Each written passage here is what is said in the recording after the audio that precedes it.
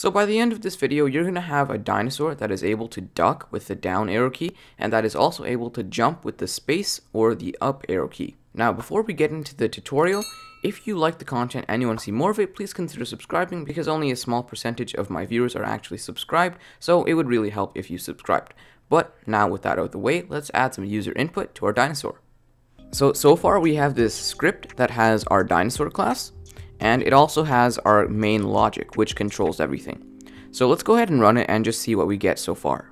So right now we just have our dinosaur that is running across the screen, and we have our ground which is moving to the left. Now let's add a couple of variables in the dinosaur class to implement jumping and ducking. Alright, so here in the dino class, I'm going to go to the initializing method and I'll add a few variables. So the first variable we're going to create is going to be a variable called velocity, which just stores the velocity of our dinosaur. So let's go ahead and create it. And we're going to default this variable to be 50. We are also going to make a variable called gravity, which stores how powerful gravity is going to act on our dinosaur. So we'll say self.gravity, and we'll equal it to 4.5 to start out with.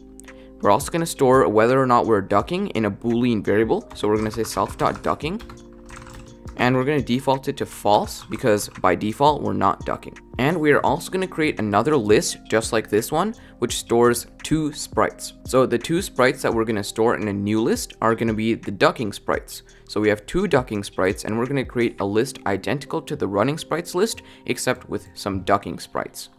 So let's go ahead and create the list. And now we can add our two images to the list. So below here, let's say self dot ducking sprites dot append and we're going to append pygame dot image dot load assets slash dino ducking one dot png and we're going to duplicate this and do the same thing with dino ducking 2.png and those are all the variables we need to create right now. Now we're going to create the duck method. So let's go down here and let's add a new method. So we'll say def duck and once again we have to pass in self. And we'll basically just say self.ducking is true. So we are changing the value of it to true since we're ducking. And all that we're going to do with ducking is we're going to say self.rect.center y is equal to 380 so this is just changing the position of our rect's center y so center Y is just the center on the x-axis and the y-axis changes depending on what we set it to. So right now we're setting it to 380 and we need to do this to calibrate the ducking sprite because if we didn't do this, the ducking sprite would make our dinosaur go a little bit lower than it was supposed to. So that's all we have to do with the duck method for now. Now we're going to create another method just like the duck method, except it's going to be called unduck and we're basically just reversing what we did here. So we'll go down here and we'll say def unduck and pass in self. And then we'll say self.ducking is back to false. And we are going to change our y position. So self.rect.center y. We are going to change it back to 360. And those are our two methods that control our ducking. Finally, we're going to create another method called apply gravity, which will just apply gravity to our dinosaur. So we'll say def apply gravity and we're going to pass in self. So here we're going to check if our y position is less than or equal to a certain point, then we're going to apply gravity. So that point for us is going to be 360. So let's say if self.rect.center y is less than or equal to 360, then we should apply some gravity. So we're going to say self.rect.center y plus equals self dot gravity. So this gravity force that we had is just going to be acting down upon this center y value unless we are greater than or equal to 360 in the y position. And now we're going to have to go inside of update and we're going to actually have to call this method. So we'll say self dot apply gravity. And you may have noticed that when we're ducking, the sprite obviously changes. So we need to update for this in our animate method. Currently, in our animate method, we're just cycling through the same two images, but we have to add some logic that checks if we are ducking or not. And if we are ducking, then we should switch the frames to the ducking frames. So we're gonna say if self.ducking. For now, we're just gonna pass, and then we're gonna say else, And if we are not ducking, then we are going to say that our image should be equal to the running sprites images. And inside of here, instead of saying pass, we'll just copy this, we'll paste it in here, and we'll replace this with self.ducking sprites. So now we've finished all of the logic needed for ducking inside of our Dino class. We're going to be adding some more stuff later on with the user input, but for now we're going to be done with ducking. Now what I want to go ahead and do is create the jump method. So below all of this, we'll create another method and we'll call it jump.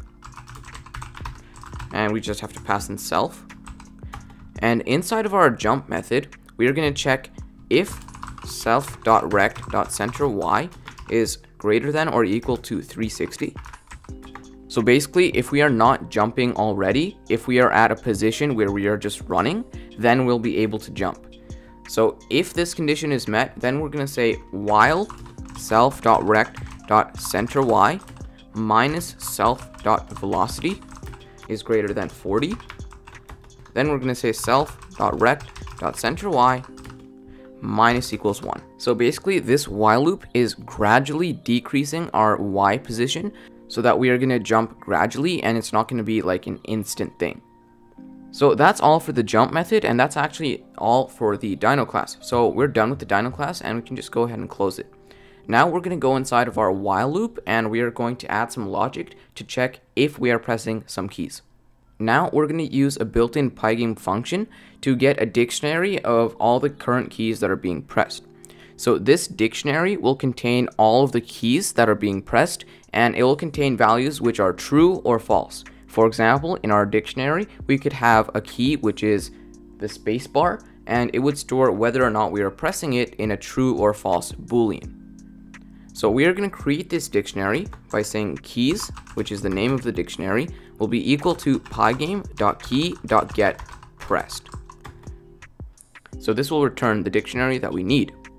And we're going to check if we are pressing the down arrow key. So if keys pygame.k underscore down. So k underscore down is the equivalent of the down key with pygame. So if we are pressing the down key, then we should say dinosaur dot duck. And we're going to say else. If we are ducking currently, so if dinosaur dot ducking, then we should say dinosaur dot unduck. And at this point, we can run our code and test out if the ducking mechanism of the dinosaur is working. So let's go ahead and run it. and it is working. When we press the down key, the dinosaur switches to ducking. But again, the problem is that it's really small. So basically what happened is we didn't scale it up yet. So we can do that in our dinosaur class, and we're just gonna use the same function that we used before. So we'll go inside of our dino class, and this is the last thing we have to do with our dino class. So we just have to say pygame.transform.scale and a bracket there and a bracket over here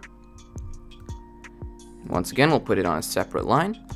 And we are going to scale it to the value of 110 wide and 60 tall. So now we're just going to go ahead and copy this and replace the second image with it.